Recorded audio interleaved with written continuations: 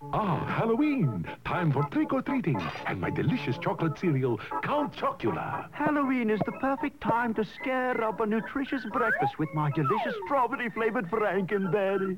My Count Chocula is the cereal with goblin good chocolate-flavored marshmallows.